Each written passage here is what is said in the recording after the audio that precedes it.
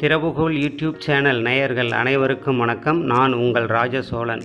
உங்களுடைய அன்புக்கும் ஆதரவுக்கும் மிக்க நன்றி. இன்னைக்கு நாம் விதவிதமாக அப்படியே மாடலாக கூடவே ஸ்டைலாக உடை அலங்காரம் பண்ணிக்கிட்டு உலா வந்துக்கிட்டு இருக்கோம்.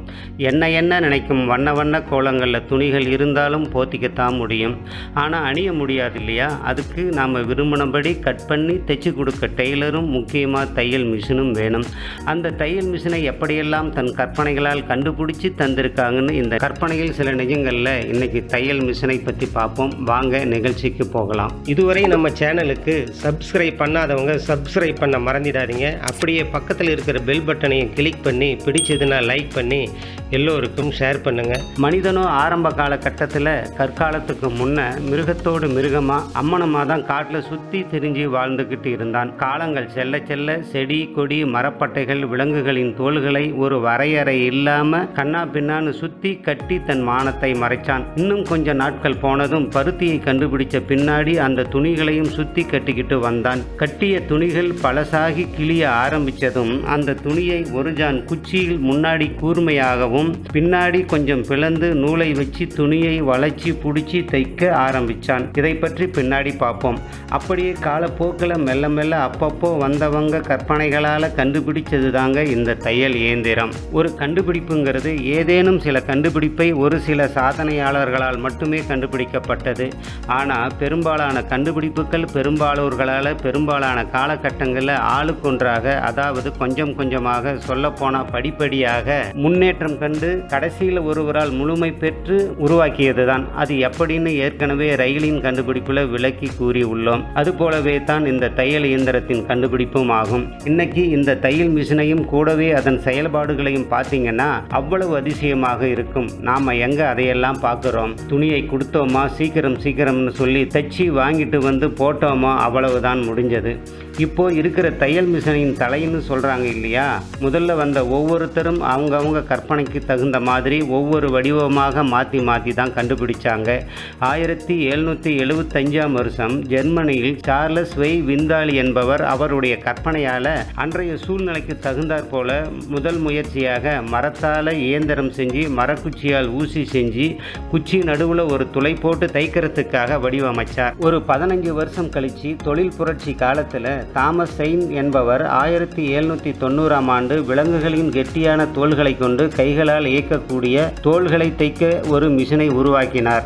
ஒரு மரக்குச்சியை ஊசியாக பயன்படுத்தியதற்கு முன்னால விலங்குகளின் எலும்புகள் மற்றும் கொம்புகளை சிறியதாக செதுக்கி ஊசிகளாக மாற்றி அதில் துளை போட்டு விலங்குகளின் தசை நாறுகளை கோத்து தோள்களை இணைச்சி தைச்சும் ஆடைகளாக நீண்ட நாட்களாக பயன்படுத்திக்கிட்டு இருந்தாங்க. இது வெளியே யாருக்கும் தெரியாமல் இருந்தது.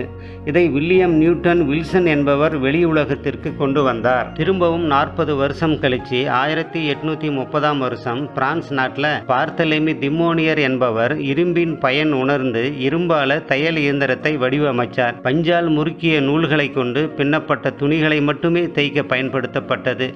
இரண்டு ஊசிகளை கொண்டு சங்கிலி தொடர்போல் தைக்கப்பட்டது. அந்த நாட்டோட இராணுவ வீரர்களின் சீர் உடைகளை தைச்சு பேரும் புகழும் பணமும் பெற்றார். அந்த காலத்திலேயே தொழில் போராமை காரணமா பார்த்தலெமி திம்மோனியர் அவர்களுடைய தையல் தொழில் கூடத்திற்கு தீ வச்சு கொளுத்தி சாம்பலாக்கினாங்க. இந்த தீ விபத்தில் பார்த்தலெமி திம்மோனியர் உயிர் தப்பிய தான் மிச்சம். அடுத்த ஆயிரத்தி எட்நூத்தி முப்பத்தி ஒன்றாம் ஆண்டு வால்டர் ஹெண்ட் என்பவர் ஒருதலை பூட்டு தையல் இயந்திரமாக வடிவமைக்கப்பட்டு ஊசியால் பின்னல் போன்ற பிணைப்பு தையலை அறிமுகப்படுத்தியதுடன் புத்தகங்களையும் தைக்க பயன்படுத்தினாங்க. அதாவது துணியின் மேற்புறத்தில் ஊசி நூலுடன் கீழே நுழையும் போது கீழே இருக்கிற நூலுடன் உள்வாங்கி உள்வாங்கி பின்னலுடன் தைக்கும் முறையை அறிமுகப்படுத்தப்பட்டது. ஆயிரத்தி எட்நூற்றி நாற்பத்தி நாலாம் ஆண்டு ஆங்கில விஞ்ஞானியான ஜான் ஃபிஷர் என்பவர் தையல் இயந்திரத்தின் அடுத்த முன்னேற்ற மாறுதலான வடிவத்தை வடிவமைச்சார். இவருடைய காப்புரிமை தொலைந்து போனதால இவருக்கு அங்கீகாரம் கிடைக்கல. இந்த தையல் மிஷின் போலவே ஆயிரத்தி எட்நூத்தி நாற்பத்தஞ்சாம் ஆண்டு எலியாஸ் ஹோவ் என்பவர் தொழில் நுணுக்கங்களுடன் புதிய முறை தையல் மிஷினை உருவாக்கி வளைவான துளை கொண்ட ஊசியினை கொண்டு கீழ் வழியாக நூலினை செலுத்தி தைக்கும் முறையை கண்டு பழைய முறையை காட்டிலும் ஐந்து மடங்கு கூடுதல் தையல்களாக அதாவது நிமிஷத்துக்கு இருநூத்தி ஐம்பது தையல் பின்னலாக உருவாக்கி வடிவமைச்சார். இலைப்பூட்டும் வகையாக தையல் உறுதியாக இருந்தது. எலியாஸ் ஹோவ் என்பவர் கால் ஊனமற்ற ஒரு பரம ஏழைதான். பிற்பாடு ஆயிரத்தி எட்நூற்றி ஐம்பத்தி ஒன்றாம் வருஷம் ஜெர்மனி நாட்டைச் சேர்ந்த மெட்ரிக் சிங்கர் என்பவர் தனது அறையில் தையல் இயந்திரத்தை புதுமைப்படுத்தி வடிவமைச்சு இன்னும் கூடுதலான தையல்களை தைக்கவும் ஊசியை வேறு சுலப முறையில் பயன்பாட்டுக்கு கொண்டு வரவும் ராப்பகலாக கற்பனையுடன் போராடினார். சரியான சாப்பாடு சரியான தூக்கம் இல்லாம கண்டுபிடிப்பிலேயே நேரத்தை செலவிட்டார். ஒரே கற்பனை போராட்டம். கஷ்டப்பட்டார் ஒன்றும் விளங்கலை கைவிடவும் முடியல. பிறகு ஒரு நாள் இரவு பசி மயக்கத்தில் நடு ராத்திரியில் தூங்க போனார். ஆனால் ரொம்ப நேரம் தூக்கம் வரவே இல்லை. அந்த ஊசியின் கற்பனையிலேயே இருக்க மெல்ல மெல்ல தூக்கம் கண்களை இறுங்கியது. அசந்து தூங்குகிறார் நல்ல தூக்கம். தூக்கத்தில் ஒரு கனவு அதுவும் பயங்கரமான கனவு. நிலா வெளிச்சம் அதிபயங்கரமான அடர்ந்த காடு. எல்லா மிருகங்களினுடைய கர்ஜனை ஓலங்கள் மிரட்டும் சப்தங்கள் அந்த நடுக்காட்டில் சிங்கர் ஒண்டியாது இருக்கா திரும்பி திரும்பி பார்க்குறார். ஆள் அரவம் யாருமே இல்லை. பயந்துக்கிட்டே ஓடுறார் ஓடுறார் ஓடிக்கிட்டே இருக்கார். எங்கேயாவது ஒரு வீடு கிடைச்சா போதும் உள்ளர போய் இருந்துக்கலாம்னு தேடுறார். திடீர்னு காட்டுவாசிகளின் ஒரு கும்பல் பார்க்கறதுக்கு அதிபயங்கரமான தோற்றங்களோட இன்னைக்கு இந்த மனிதன் தான் நமக்கு நல்ல உணவுன்னு பெரும் சப்தத்துடன் துரத்திட்டு வராங்க. தப்பிச்சா போதும்னு நம்ம சிங்கர் ஓடுறார். மூச்சு வாங்கி கால் தடுக்கி கீழே விழுந்துட்டார். அந்த காட்டுவாசிகளின் கும்பல் சிங்கரை சூழ்ந்துக்கிட்டாங்க கொடூரமான தோற்றத்தில் இருந்த அவங்க இன்னைக்கு நமக்கு நல்ல வேட்டை மனுஷன் கறியை சாப்பிட்டு ரொம்ப நாளாச்சு ஒரு புடி பிடிச்சிட வேண்டியதுதான்னு மீண்டும் ஒரே சந்தோஷம் அவங்களுக்கு. எல்லோரும் தன் கைகளில் இருந்த ஈட்டிகளால் உடம்பை குத்த வராங்க. அதில் ஒருத்தன் முதல்ல இந்த இரண்டு கண்களையும் ஈட்டியால் தோண்டி அப்படியே முழுங்க போகிறேன்னு ஈட்டியை கண்ணுக்கு நேராக குத்த வரான். ஈட்டியோ மூக்குக்கு பக்கமாக வந்துடுச்சு சிங்கரால் தப்பிக்கவே முடியல. கத்தறார் கதறார். கண்ணருகே ஈட்டி வந்துடுச்சு. ஈட்டியை பார்க்குறார். கூரிய முனையில் ஒரு சின்ன துளை பாவிங்க கண்ணை குத்திட்டாங்க.